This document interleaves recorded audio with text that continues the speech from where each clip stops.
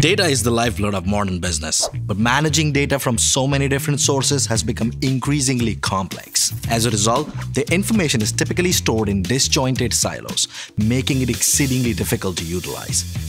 Data Fabric aims to solve this problem by bringing together and orchestrating all the assets within your data analytics ecosystem.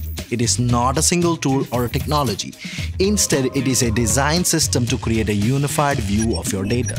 It supports both operational and analytical use cases across existing on-premise data sources and cloud data platforms through centralized data governance. According to Gartner, by 2025, active metadata assisted automated functions in the data fabric will reduce human effort by a third while improving data utilization fourfold. Imagine what you and your business can accomplish with improved data utilization and less human effort.